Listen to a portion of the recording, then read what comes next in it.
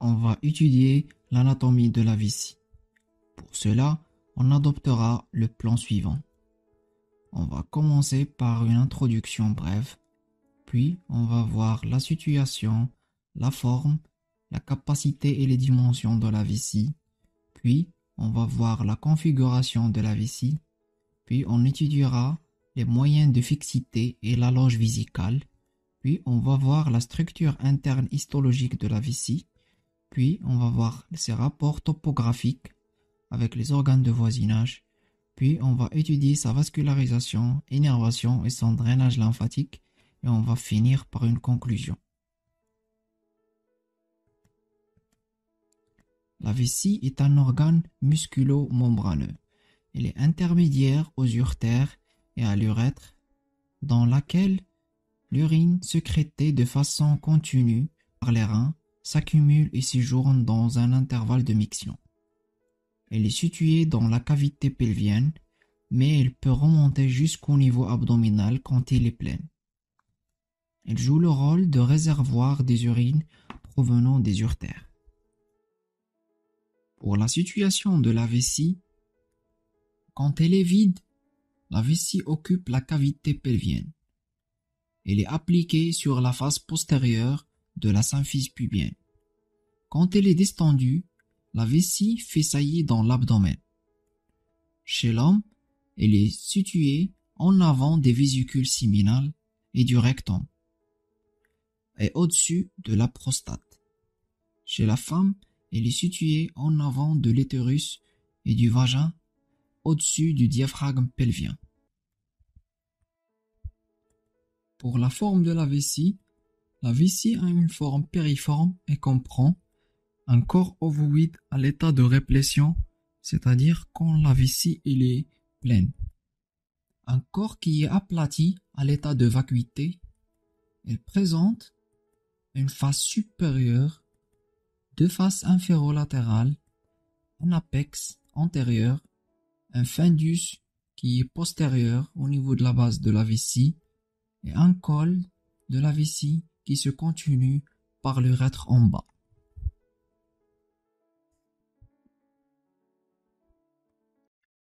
Pour la capacité et les dimensions de la vessie, elle mesure 6 cm de longueur, 5 cm de largeur. La vessie a la capacité de doubler ses dimensions quand elle est pleine. Sa capacité est très variable chez l'adulte. Il a une capacité anatomique maximale de 2 à 3 litres. Cette capacité est plus grande chez la femme. Chez l'enfant, la capacité et les dimensions de la vessie peuvent varier en fonction de l'âge, allant jusqu'à 250 ml à l'âge de 12 ans. Pour la configuration de la vessie, la vessie contenue dans une loge fibreuse, elle contient un orifice urétral antérieur et médian au niveau du col de la vessie. Cet orifice est entouré d'un bourrelet dû à la présence du sphincter interne, qui contient des faisceaux musculaires lisses. On a les orifices des urtères. Ils sont latéraux, en forme de fente, situés aux angles d'un triangle qu'on appelle le triangle de Lyoto. Entre ces deux orifices, un bourrelet soulevé par la présence d'un faisceau musculaire qu'on appelle le muscle interurétéral. En arrière, de ce muscle urétéral, on a le bas-fond visical ou l'arrière-fond de la vessie. La vessie a un bord postérieur qui se moule sur la saillie du rectum. Elle a une courbure à concavité postérieure. Il dessine la limite du cul-de-sac de Douglas. Pour les bords latéraux de la vessie, de la vessie ils sont épais et convexes et longés par l'artère ombilicale. Le péritoine a la particularité de déborder sur cette paroi latérale. Pour l'angle antérieur de la vessie, ou bien le sommet de la vessie, qui se continue avec le, ligament ombilical médian ou l'orac. l'angle inférieur de la vessie ou le col vésical ou l'orifice supérieur de l'urètre.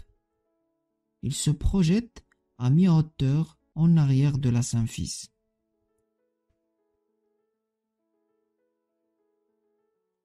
Pour les moyens de fixité de la vessie, la vessie est contenue dans une loge cellulofibreuse qu'on appelle la loge vésicale.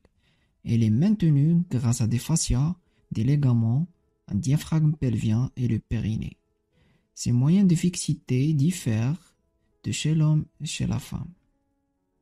Chez l'homme, on a le fascia vésical, qui est la tunique adventice. On a l'aponevrose ombilico-prévisicale en avant. Cette aponevrose se continue en bas par le fascia prostatique et fusionne en arrière avec le fascia rétrovésical. Le ligament ombilical médian ou l'orac, le ligament pubo-prostatique qui s'étend depuis la symphyse pubienne jusqu'à la prostate.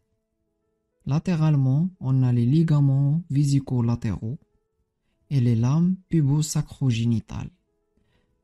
Et aussi, on a le diaphragme pelvien et le périnée par l'intermédiaire du fascia inférieur du diaphragme urogénital. Chez la femme, on a le fascia vésical ou bien la tunique adventice, le fascia ombilico-prévisical qui fusionne en arrière avec le fascia rétrovésical et en bas avec le fascia supérieur du diaphragme urogénital. On a le ligament ombilical médian ou bien l'orac. On a le ligament vésico-antérieur par l'intermédiaire du ligament pubo-vésical qui est tendu depuis la symphyse pubienne jusqu'à la vessie. On a latéralement les ligaments vésico-latéraux. Et aussi, on a le ligament vésico-utérin. Aussi, les, les lames pubo-sacrogénitales. Et le diaphragme pelvien et le périnée.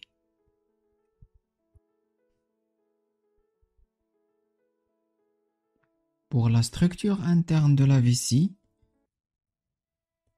la vessie est formée de trois tuniques, la muqueuse, la musculeuse et l'adventice. Une adventice qui est cellulo-nerveuse et vasculaire, une musculeuse ou bien détrusor formée par trois couches musculaires. Une couche superficielle formée de fibres longitudinales une couche profonde ou plexiforme, et puis une couche moyenne qui constitue au niveau du col le sphincter lisse du col vésical ou le sphincter de l'urètre. Une muqueuse de type urothélial qui est rouge, lisse et unie au niveau du trigone, elle présente quelques papilles. Le péritoine ne revêt que la face supérieure et partiellement les faces postérieures et latérales. Il recouvre partiellement la vessie au niveau du dôme, alors la vessie peut être abordée chirurgicalement par voie extra-péritoniale. Les urtères ont une implantation oblique au niveau de la paroi vésicale et leurs amarrages au niveau du plan musculaire, plan musculaire du trigone créent un dispositif anti-reflux qui fait qu'à l'état normal, l'urine ne peut en aucun cas remonter contre courant vers le rein. Pour les rapports topographiques de la vessie, les rapports de la face supérieure de la vessie, elle répond en haut au péritoine qui recouvre la face supérieure de la vessie.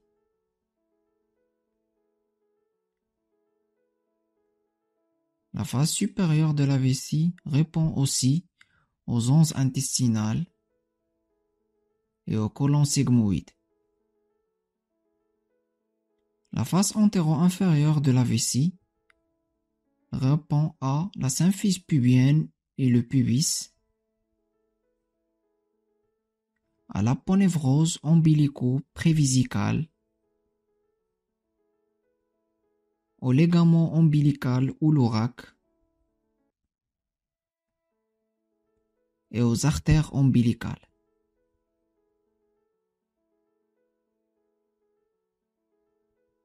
Pour les rapports du sommet, sont représentés par l'orac, qui s'étend jusqu'à l'ombilic. Pour les rapports de la face postéro-inférieure de la vessie, chez l'homme, elle répond au canaux déférent, aux vésicules séminales, à la portion terminale des urtères et au feuillet péritonéal qui forme le cul-de-sac visico-rectal, l'aponevrose prostato-péritonéale qui est située entre le rectum en arrière et la vessie et la prostate en avant. Pour les rapports postéro-inférieurs chez la femme, le feuillet péritonéal qui forme le cul-de-sac visico-utérin. Elle répond aussi à la face antérieure du vagin, à la cloison visico-vaginale qui sépare le vagin et la vessie, la portion terminale des urtères. Pour les rapports du bord postérieur de la vessie, il est séparé du rectum par le cul-de-sac visico-rectal chez l'homme et séparé des organes génitaux par la cloison visico-vaginale et par le cul-de-sac visico-utérin chez la femme. Pour la vascularisation, innervation et drainage lymphatique de la vessie, la vascularisation artérielle de la vessie provient essentiellement des branches de l'artère iliaque interne.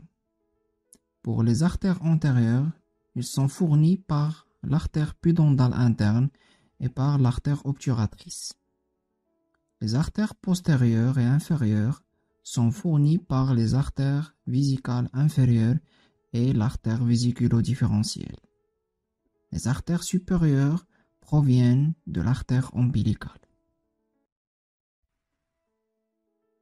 Pour le drainage veineux de la vessie, les veines des parois vésicales se jettent dans un réseau périvésical qui rejoint en avant le plexus rétropubien qui se draine lui-même dans les veines pudendales internes, puis vers la veine iliaque interne. Latéralement, les plexus vésicaux se drainent par les veines vésicales qui se drainent eux-mêmes dans les veines iliaques internes. Pour le drainage lymphatique de la vessie, les lymphatiques de la face supérieure et antéro-inférieure de la vessie aboutissent au ganglion iliaque externe et au ganglion obturateur. Pour les lymphatiques de la face postéro-inférieure, ils vont essentiellement au ganglion hypogastrique ou ganglion iliaque interne et au ganglion interiliaque. Pour l'énervation de la vessie, L'innervation provient des nerfs vésicaux qui émanent du plexus hypogastrique inférieur. Elle est assurée aussi par les neurofibres sympathiques et parasympathiques émanant des troisième, quatrième nerfs sacrés pour le contrôle volontaire de la miction. En conclusion, la vessie est un organe musculo-membraneux intermédiaire aux urtères et à l'urètre.